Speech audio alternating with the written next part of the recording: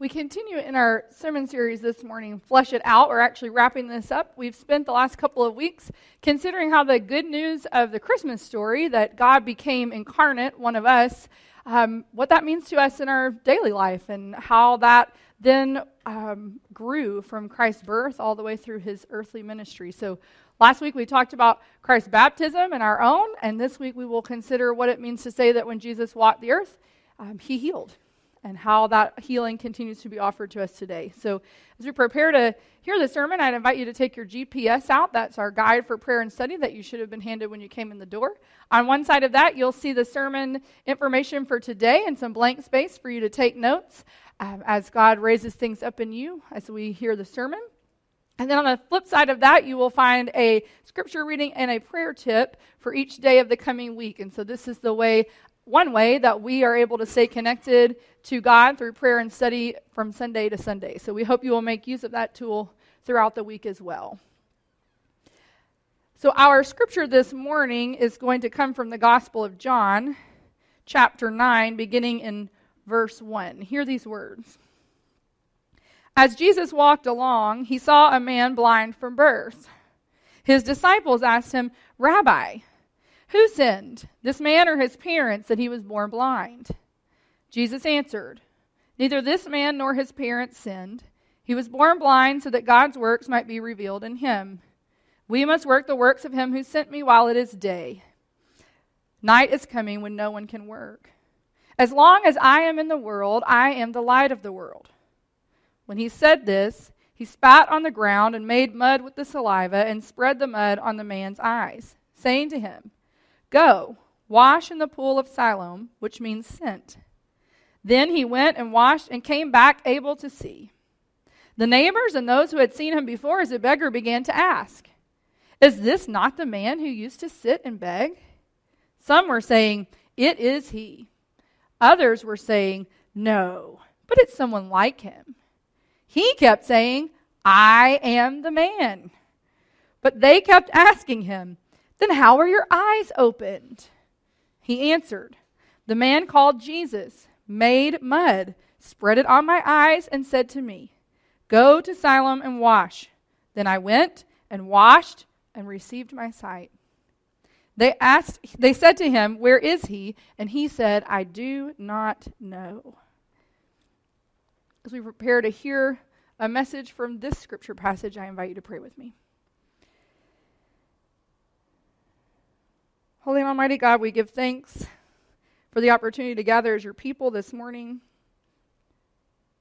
for this place where you meet us. We give thanks that you always answer when we call to you, that you speak to us through our scriptures again and again, helping us to draw nearer to you. And we pray that as you do that this morning, our hearts and our minds might be open to hear the message that you've crafted for each of us. God, I pray that these words would be your words this message a demonstration of your Spirit's power and nothing of my own. It's in the name of Christ we pray. Amen. So, my family and I were watching the tail end of America's Got Talent earlier this week, and our older children, our two boys, were very fascinated by a magician who was on the show because he had, through the course of his act, been able to seemingly predict which cards the judges would take off of a board he had for them, and then somehow to magically trade places with another magician. And as I watched that, I thought magic is kind of an interesting form of entertainment because that's what it's for, right? We watch magic to be entertained, to be like our boys, totally enthralled, except we have already decided that we're going to let them fool us. right? We know that they're doing something, sleight of hand or an illusion. We know that it's not real magic, but that it's meant to entertain us to see if they can get one by us. And so we gather for things like magicians, and crowds gather for them, and we're entertained by them, and that's interesting to see how they work. But as I thought about that, and I'm looking at a healing passage for our scripture this morning, I thought, I wonder if sometimes we slide into thinking of Jesus' miracles as like magic tricks.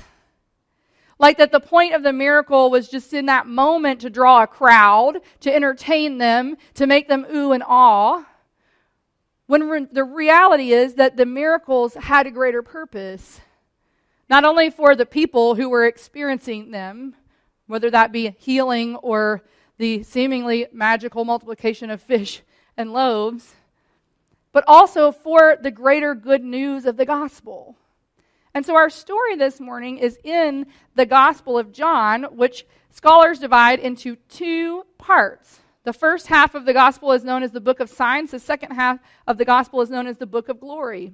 The first half of the Gospel is known as the book of signs because it contains all of these moments in Jesus' ministry, these miracles and healings, like turning water to wine at the wedding at Cana, um, having the blind man we just read about experience healing, healing a crippled um, beggar. So there's all these moments where Jesus has miraculous either experiences or healings going on, and they're not magic tricks.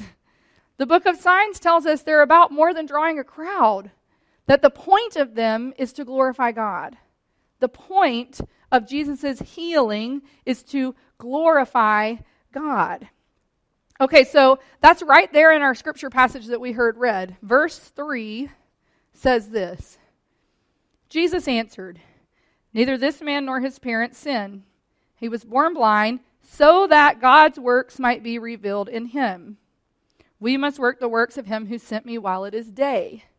So I have to take a moment and step up on a soapbox, if you will, about this particular verse of Scripture. So, kind of the way it's written in our English translations makes it sound like God is saying, I had this person be born blind so that at some point in his adulthood life, Jesus can come along and heal him and have a magic trick moment where everybody can then see who Jesus really is. But that would be an awful thing because to be blind in his community would mean to basically be unable to hardly fend for yourself, to be pushed to the margins. So that doesn't make sense to me. That doesn't sound like our God. But here's the thing what we have in our English Bibles is not how it started out. And so I want to share with you a little bit about how we get to what we read when we go to study our scripture each and every day. And then you can see how we might be able to move some things around and make this passage make a little more sense for the book of signs. So I have a slide to show you. This is what manuscripts look like when scholars first start with them to make up the Greek New Testament. So you can see on this slide that you have all capital letters no breaks for sentences, no breaks for punctuation. It's just words upon words upon words strung together. And so this is what the scholars start with, and they compile this into what we call a Greek New Testament, where they insert punctuation marks, they decide where sentence breaks are going to be, and then they take that Greek New Testament and translate it into English, which is what we are reading when we go to our Bibles in our world. So here's the thing people have to make decisions. Now, there's structure in the Greek language that helps them to know kind of how the sentences should fall, where they should start um, and end.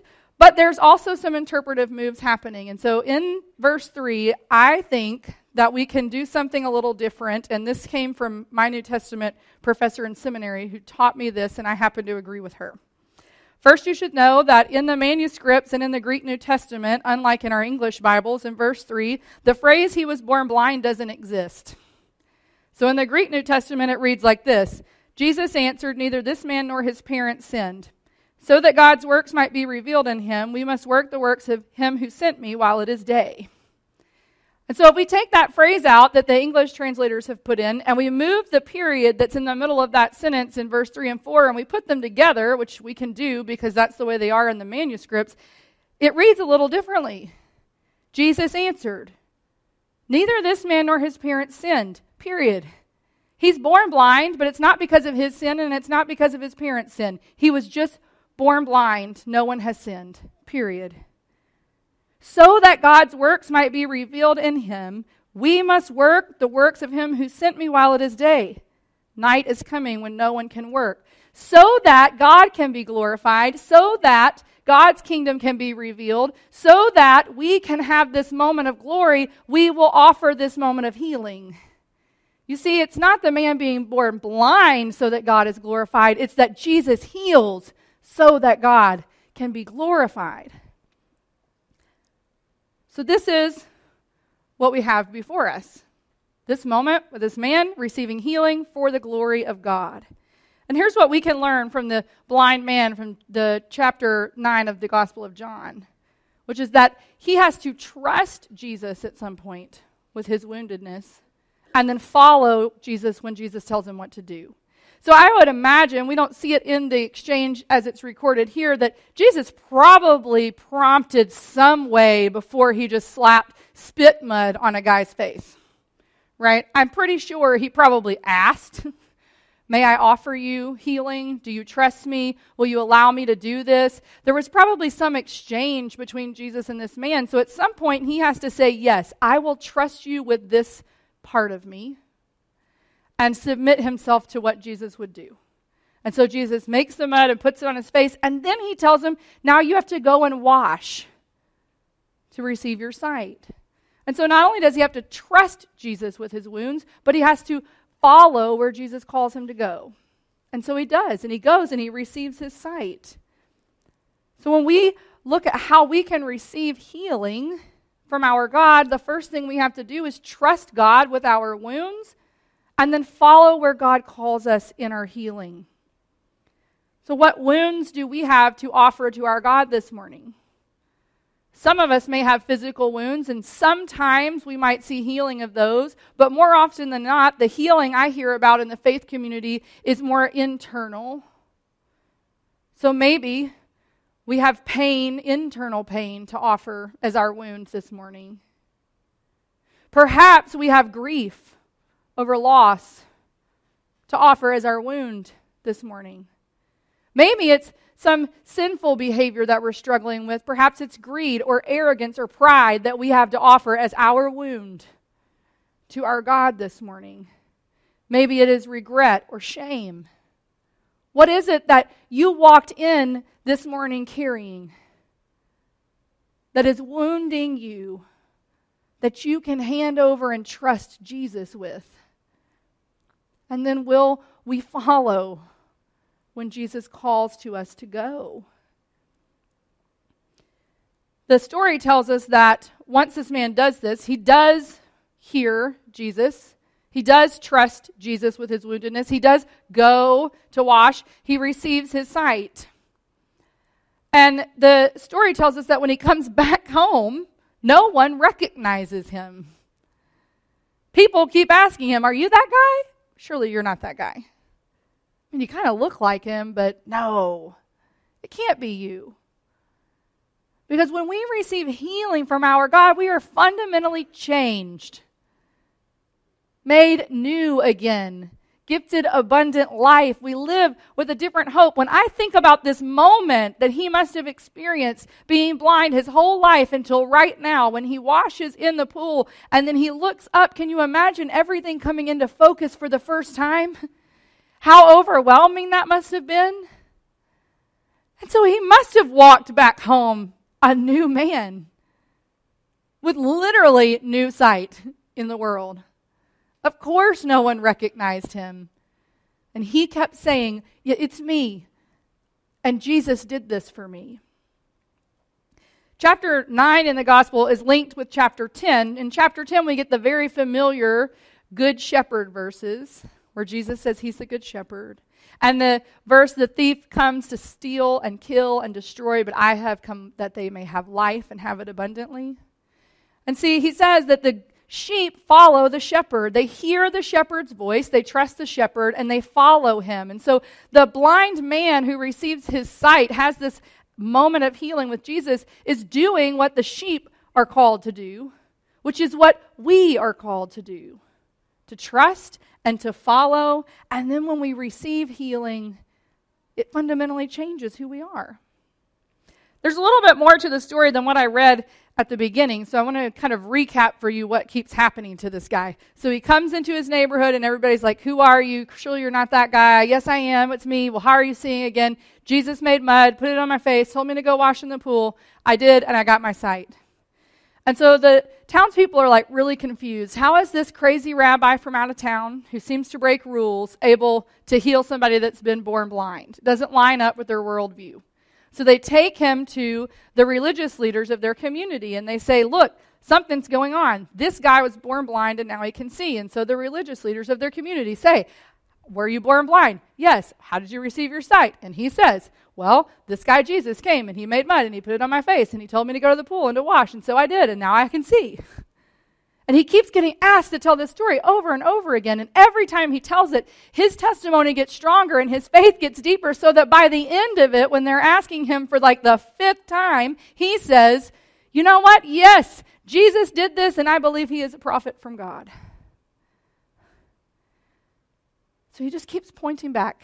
Fundamentally changed, willing to say who he is, and pointing everyone back to Jesus.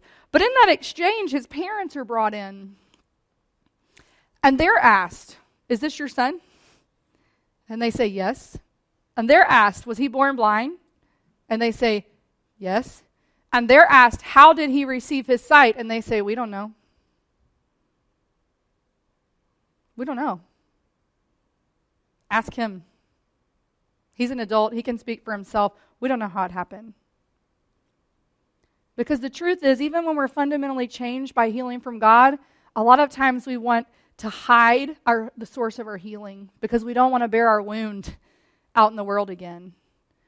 Or when we see healing in the lives of other people, maybe we dismiss it like so many of the townspeople did. Like, oh, that can't be God. Must have been luck. Must have been something else. So this man stays with it and keeps pointing to Jesus even when the people around him won't. And even when it means risking everything he just had. I don't blame his parents. Think about what he was risking by saying, Yes, that was me. I was born blind. And not only that, but this rabbi that you don't know that you're too sure about is the one who gave me healing. Here's what he's risking he's been marginalized his whole life for being blind. He's risking this opportunity to be reintegrated into, the community. His parents know that. They're scared he's going to be ostracized again for aligning himself with this rabbi. Think about what he could have done. He didn't have to point to Jesus. When he got his sight, he could have come back into town, and when people said, Surely that's not you, you're not that guy, right? Nope. And he could have been in his community with all the privileges of seeing people. He could have never gone back home. He could have gotten his sight and went to a neighboring town and started life over again where nobody knew that he used to be blind, where he could just be a regular old seeing person. He didn't have to bear his wound, but he did. He came and he used his healed wound to glorify God, to point back to Jesus. And he risked a lot to do it. And so the question for us then moves from what wounds do we have that we need to trust Jesus with this morning and then follow where he calls us to go in our healing. But that when we receive that healing, that fundamentally changes us. Well, we have the courage and conviction, like this man, to bear that healed wound out in the world so that it might glorify God, so that it might become a beacon of hope for another person who doesn't yet know what it means to be healed by our Lord. Or will we say, I don't know? Or pretend it came from somewhere else? You know, in chapter 10, we hear about abundant life. And the truth is, this man who received this healing from Jesus, he knew what abundant life was. And he was going to keep glorifying God because he had peace that passed understanding. And he knew no matter what the world could throw at him, he was going to be okay because the good shepherd always cares for his sheep. So we can take our healed wounds and let them glorify God and experience real abundant life. You know, when I think about who have I met in my life who has done this really well, like this man in chapter 9, has received healing for something and then been able to bear that healed wound out in the world as a testimony to the glory of God. I think about a man named Carlos. For the last several years, I've had the privilege of traveling with Living Water International to Central America to drill clean water wells. And the way that organization is set up is each country has a person that's local to the country who um, runs all of the things going on in their country related to living water. And so in El Salvador, that person is Carlos.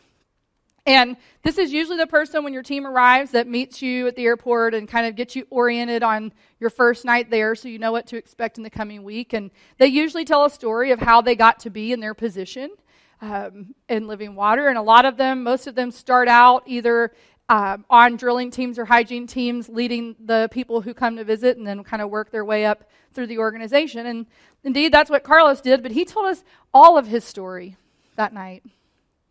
He told us about how when he was young, he had crossed into the U.S. illegally. He had gotten involved with some gangs and drug activity. He had been caught and deported and was no longer allowed to come back to the United States. But that when he got to El Salvador, he didn't really know what he was going to do, and he was trying to get his life together. He struggled a bit more there, but there was God always knocking at his door through this woman that he knew. And so finally, one day he went to church and then as his faith was born, he found living water and he started working with them. And now he's worked his way up and he receives teams all year long. And he tells them this story. And here's why I think it's important. Here's why I have learned from Carlos because he didn't know us, he didn't know what we would think about him when he shared that wound and how God had healed it. He didn't know if we would receive him well or if we would now be leery of him, but he didn't care because he was interested in glorifying God. And that's what he does again and again and again. He bears that wound out to show people here is how God has healed me. Glory be to God. What can I do to bring hope to others in the world? And then he gets to go and bring clean water and the good news of Jesus Christ to people in his country day after day after day. I can think of no person that I have met who more resembles the man in the Gospel of John, chapter 9, than Carlos. So, what wounds did you walk in with this morning? And are you ready to trust Jesus with them? To follow where his voice calls you? To receive healing that will fundamentally change you? And then to reveal that healing out in the world as a beacon of hope for others so that God might be glorified. Would you pray with me? Almighty God, we give thanks for your healing in our lives. God, for the way that you come into our darkest places, the places where we have the most fear or anger, shame or resentment, and you bring light there bring resurrection. God, we pray that we might be courageous and convicted like the man we read about in our scripture this morning. That we might trust you, follow you, and then point everything back to you. In the name of Christ we pray. Amen.